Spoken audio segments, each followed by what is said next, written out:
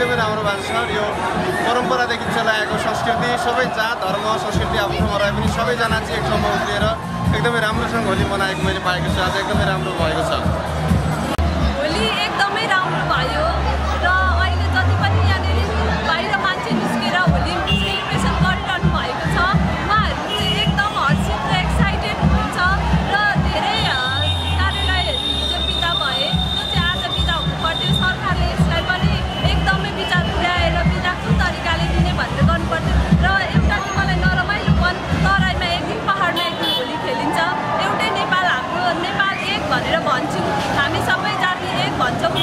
भइरहेको छैन।